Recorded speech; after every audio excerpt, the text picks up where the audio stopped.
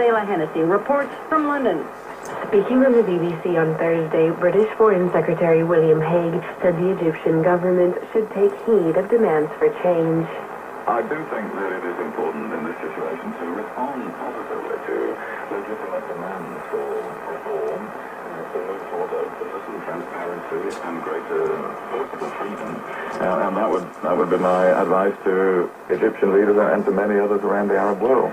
Egyptians have taken to the streets for a third day of protest against President Hosni Mubarak's 30-year rule. An Egyptian cabinet spokesperson says Thursday that the police are showing maximum restraint in dealing with the protesters. But the head of New York-based Human Rights Watch said he said the army may open fire in the capital on Friday, but a mass rally is. In a report published earlier this week, Human Rights Watch accused the Egyptian government of political repression and widespread discrimination against Christians and other religious minorities. Massoud Shadjareh is head of the Islamic Human Rights Commission in London. He says William Hague's comments on Thursday are not enough. Britain and the United States need to do more to pressure Egypt for change.